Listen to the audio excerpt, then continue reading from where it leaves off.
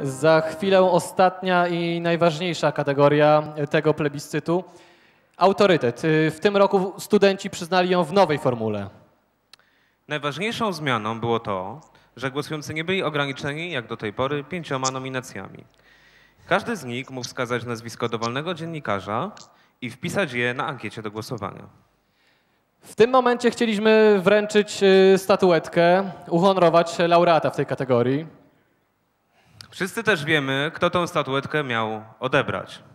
Niestety, ze względu na e, chorobę, pan Wojciech Mann nie będzie, y, nie ma go z nami. Dowiedzieliśmy się tego dzisiaj o godzinie 12.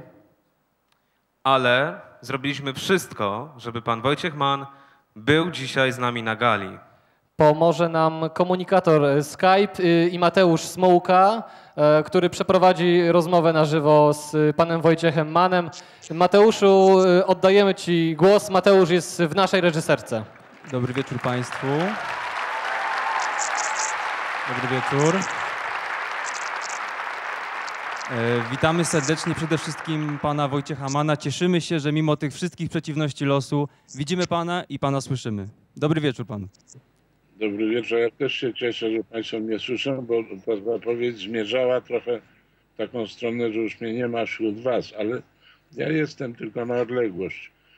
E, Chciałbym odczytać oświadczenie, nie wiem czy można. Bardzo prosimy, bardzo prosimy. Przygotowałem i mam napisane.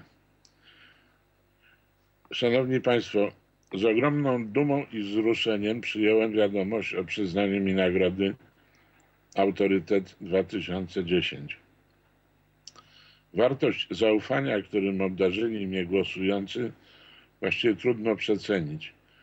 Niestety już na samym początku bycia laureatem narażam to zaufanie na szwank, nie odbierając nagrody osobiście. Jeżeli w tej sytuacji uznają Państwo za stosowne pozbawienie mnie przyznanego mi tytułu, przyjmę to z pokorą, ale będzie mi bardzo smutno. Wojciech Mat. Dziękujemy bardzo panie Wojciechu. Myślę, że reakcja sali jest jednoznaczna. Nagroda Autorytet pozostaje w rękach Wojciecha Mana. Bardzo się cieszymy, że pana widzimy. Myślę, że jeszcze nie raz w Krakowie się spotkamy. Teraz chcielibyśmy No. chwilkę porozmawiać. Bardzo proszę, rozmawiajmy. Gdyby pan był, zasiadłby pan na takiej pięknej czerwonej kanapie, ale teraz też jest ok, widzimy się. E, Proszę powiedzieć, e, najczęściej w komentarzach, pierwszych komentarzach po przyznaniu tej nagrody studenci podkreślali autentyczność Wojciecha Manna, to, że jest autentyczny w tym, co robi. Jak to zrobić, żeby przez tyle lat kariery nie dać się zmienić mediom, w którym się pracowało i pozostać sobą? E, Już to, co Pan mówi, jest y, niezwykłym komplementem, ponieważ moje subiektywne odbieranie mojej osoby nie musi się dokładnie e, równać z tym, jak postrzegają mnie odbiorcy. E, Ja kiedyś tam na samym początku mojej pracy w radiu, e, co zresztą w paru wywi- wywiadach powiedziałem, strasznie chciałem być disc jockeyem na modułę amerykańską. I kiedy posłuchałem nagrania siebie samego, udającego, tak się potwornie zawstydziłem, że przysiągłem sobie wówczas, że albo mnie zaakceptują takim, jaki jestem, albo, albo nic, no, nie będę udawał. I wydaje mi się, że to jest dość istotna cecha, którą publiczność idealnie wyczuwa. Jeżeli ktoś coś kombinuje, oszukuje, picuje, przepraszam za wyrażenie, to y, odbiorcy to wyczują. W związku z tym taki sam jestem tu na tym moim fotelu, jak i przed mikrofonem. Niektórzy to akceptują, inni nie, ale to jestem ja. A proszę powiedzieć, czy wyobraża pan sobie swoje życie bez trójki? Jest pan symbolem tej stacji, człowiekiem związanym z tą stacją od 40 lat. Czy jest panu taka myśl, co by było, gdyby nie to radio? Gdzie bym był? Ja prawdę mówiąc już sprawdziłem to empirycznie, ponieważ miałem w życiu taki krótki dość, ale jednak bardzo ciekawy e, okres prowadzenia własnej stacji. Wówczas musiałem z trójki wyjść. E, pamiętam moją ostatnią audycję i było to strasznie bolesne i było mi smutno. A potem pamiętam radość, kiedy do niej wróciłem. E, pewnie bym jakoś funkcjonował, ale to jest dla mnie niezwykle ważna e, i, i pokaźna część mojego życia, więc niech pan mnie nie namawia, żebym drugi raz przestał być człowiekiem trójki. Nie będziemy.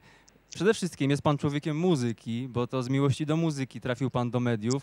Proszę powiedzieć, czy przez te wszystkie lata bardziej czuł pan się jako fan muzyki w świecie mediów, czy jako dziennikarz muzyczny jednak? Nie, ja bardzo się, i to na przysięgam, że to nie jest fałszywa skromność, ale jak widzę e, takie napisy pod ludźmi, którzy się pokazują w telewizji, krytyk muzyczny, dziennikarz muzyczny, to e, bardzo się cieszę, że pode mną się to nie pokazuje, bo ja nie mam wykształcenia muzycznego. Ja jestem do dzisiaj hobbystą, słucham tej muzyki z przyjemnością i z radością, a to, że mogę o niej mówić w radiu i czasem w telewizji, to jest jakiś niezwykle szczęśliwy splot okoliczności. Natomiast nigdy nie próbuję e, udawać, że jestem specjalistą. Mhm. Widzimy, że jeśli chodzi o nowe technologie, Wojciech Mann radzi sobie znakomicie. Jesteśmy tutaj razem właśnie dzięki nowym technologiom. A mnie ciekawi, jak Wojciech Mann odnajduje się e, w nowych technologiach w muzyce. Czy więcej ma pan płyt gramofonowych, czy mp3 dzisiaj w swojej kolekcji? Oj, zawiodę tych, którzy lubią nowoczesność. MP3 to jest dla mnie taki wynalazek, gadżecik. Ja mam głównie płyty i nawet parę widać za mną e, i korzystam z tego starego nośnika, mimo że on już jest bardzo passé. Ja już przy tym zostanę. Czyli e, kolekcja e, na tym fotelu jest słuchana najczęściej, tak? O tak, i to bardzo głośno czasem.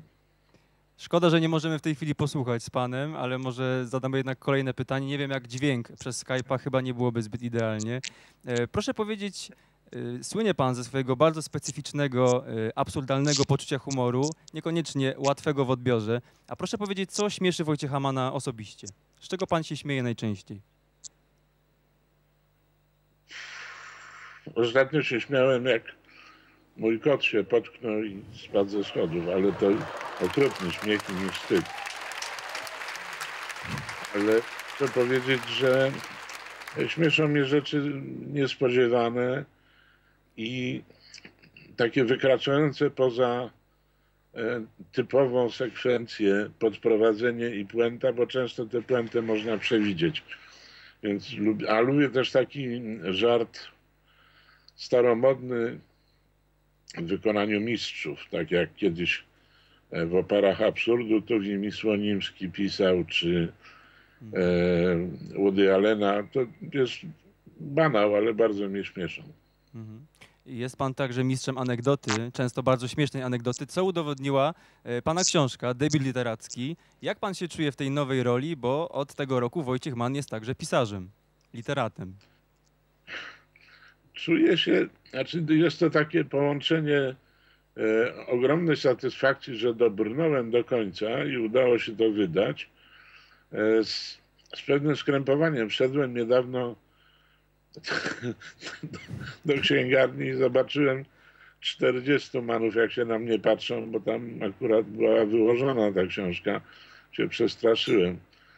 E, Wystarczy mi, jak widzę jednego w lustrze, a tu było dużo więcej. Ale, ale to jest, to jest, wie pan, to jest znowu radość z tego, że się e, podjęło czegoś, czego nigdy nie robiłem i to, e, i to zaistniało. A jeszcze do tego parę osób przyszło po autograf, więc w ogóle jestem słynnym pisarzem. Musi pan przyjechać znowu, bo dzisiaj pewnie też parę osób przyniosło książkę i liczyło na autograf, także na pewno jeszcze nie raz w Krakowie się pan Chciałem pojawi. bardzo przeprosić wszystkich zawiedzionych. Rzeczywiście e, dostawałem sygnały, że mogę być e, poproszony o to i mam nadzieję, że Państwo mi wybaczą, że moja nieobecność nie wynika z lekceważenia, tylko po prostu mm, zakaz opuszczania koszar. Oczywiście, bardzo dobrze to rozumiemy. Proszę jeszcze tylko powiedzieć, czy może przyjedzie pan do nas już z kolejną książką? Czy jest w planach kontynuacja e, tej pierwszej książki Wojciecha Mana? Przecież ja się tak umęczyłem z tą pierwszą, że muszę trochę odpocząć. Ale nie mówię nie. Trzymamy w takim razie za słowo. Jeszcze raz bardzo gorąco gratulujemy. Wielkie brawa. Mam nadzieję, że pan Wojciech słyszy te brawa. Jest pełna sala, y, 1200 osób i naprawdę wszyscy bardzo panu gratulują. Cieszymy się, że chociaż w taki sposób był pan z nami. Zapraszamy do Krakowa nieraz y, i życzymy powrotu do zdrowia oczywiście. Pozdrawiamy z Krakowa. Dziękuję bardzo serdecznie, pozdrawiam. Mam nadzieję, że byłem w kolorze. Dziękuję. Oczywiście, było bardzo dobrze. Dziękujemy bardzo.